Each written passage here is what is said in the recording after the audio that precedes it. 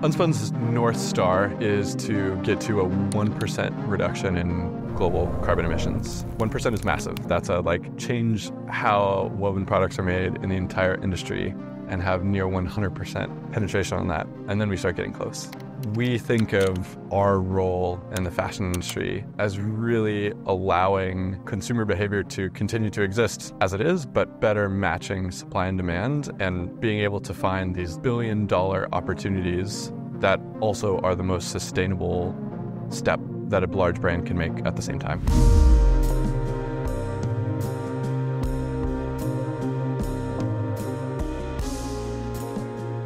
We are at Unspun's Microfactory in Oakland, and here we are building a more profitable and sustainable apparel industry by automating the core manufacturing process. My co founder Beth was the original visionary of Unspun. She was working in the outdoor industry. I was going to say she was inspired, but I think the better phrase is she was appalled at how they would sit in these meetings and talk about like the little bag for their Clif Bar wrapper, but then at the same meeting start talking about like we have 400 something extra tents, and if we donate them, and there's homeless people sleeping in tents with our logo on it, the brand looks bad, so we better burn these. And she was like, "What? Like these two things happened in the same meeting?" She was really inspired and thinking about what a new manufacturing process would be that, you know, it's this kind of peak 3D printing boom. Like, what if we could just 3D print something right when we need it? So this really got her thinking about on-demand manufacturing, the inherent automation necessary for that, but also like why is everything currently done in such a slow and wasteful process? The apparel industry is one where it's just standard that what if we just destroyed one in five cars that came off of uh, the Tesla assembly line or something like that? $200 billion a year spent making stuff, moving it around, and then lighting it on fire. Like that's such an obvious thing of like, hey, what if we just didn't do that?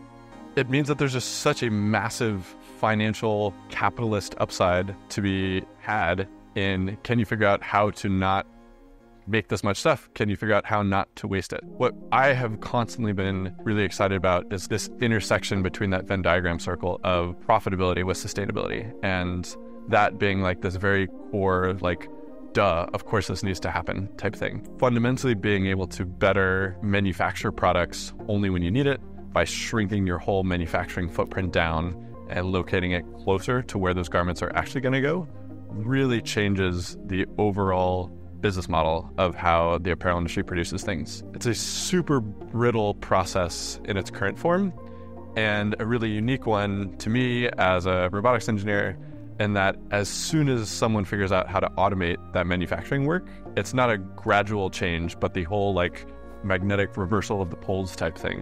One of the really fascinating things about apparel manufacturing, it's almost like if you nerd, if you can graph tangent about the origin, you get this like asymptote right at zero, where it's impossibly difficult for robotics to do still, but pretty impossibly easy for humans. And yet we can automate car manufacturing and we can build those with robots, but we can't do soft goods yet. Because you really start crumbling at this problem of soft fabric on a table, using our eyes to recognize which things to align, using our fingers to run it through the sewing machine. It ends up being a, a really difficult classical robotics problem. We were saying, okay, wait, if we want to go from fibers to garments as fast as possible, the most efficient way to do something is not to do it. Can you skip as many of those steps? Can you combine things? Basically, simplify the process as your fundamental route towards automation. Our fundamental approach was do everything at once. Can we combine all of these processes and go directly from yarn to as close to a finished garment as possible? And our route to that is 3D weaving. So taking a bunch of yarns, about 3,000 of them, and weaving them all together at once to build seamless structures. So think about like removing the side seam on your pants, eliminating the seam all the way around on a shirt. So yarns in and nearly finished garments out. Specifically, we think about 3D weaving tubes, but tubes that can change diameter. So if that old world, the basic building block of a pair of pants is a front panel, a back panel, a left panel, a right panel, those all come together. We think about a left tube and a right tube. Or a shirt would be a really big tube with an aggressive taper and two little tubes coming off of it. By kicking that like basic Lego block dimension up one, building from 3D structures rather than 2D planes, it allows us to do a lot more all at once and better kind of optimize that curve between how fast you can make something, but also how variable you can make something. It's kind of like this fundamental automation play of if you want to be able to do a lot of different things, your process slows way down. If you want to just do the same thing over and over and over, you can often do that really fast. By building from these creels of thousands of yarns all coming in, we have these other parts that are weaving in and out. Knits and wovens are kind of those two main categories. Knits is like a t-shirt, very loopy and stretchy. Wovens is like that over under checkerboard process, much more technical, much stronger. Um, often why it's used in like carbon fiber and composites as well. So we specifically focus on weaving and doing this 3D weaving process, letting us build from these tubular building blocks. And then that process happens super, super fast. The hardest technical part of building Vega and bringing this 3D weaving process to life is, I think, really just like the scale of how big and how many things are happening to make one of these machines work. We have about 3,000 individual actuators. All of those actuators are moving things around in its process as we have these other things spinning around. We're basically updating 20 to 30,000 variables a second. And these aren't software variables, these are like physical positions of things. Even as we prototype one little thing and then we need to then test it on the machine, like we're effectively doing production runs of thousands of units, even at the very beginning of that prototype phase. A massive amount of effort going into actually building an industrial process that doesn't just work at lab scale, but works at the scale needed to ultimately be getting to those cost and efficiency curves that make sense in a effectively commodities product. This thing needs to operate all day, every day, or ever, or as close to that as you can get it. Suddenly, the most efficient way to make something is no longer some centralized factory in Asia. It's right next to where it's going to be sold. It's can you have something bought online, routed to the nearest factory, produced and delivered, and still do all of that in that like two or three day window that people expect.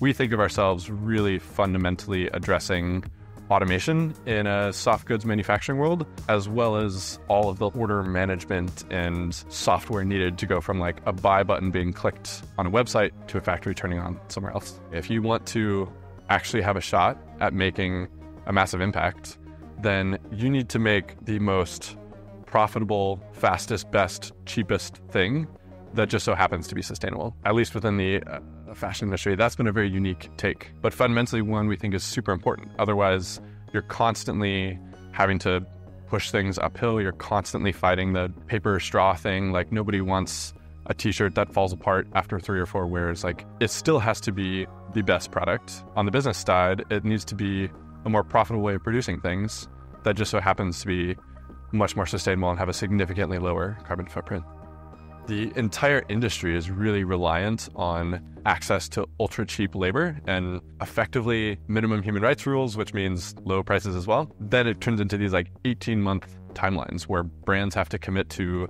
size, quantities, colors of like the Topeka, Kansas store. Maybe that worked back when fashion was just like, what three colors do we put on our GAP sweatshirt? But that doesn't work anymore. And it definitely doesn't work in a world where fashion's like what was happening on TikTok last week.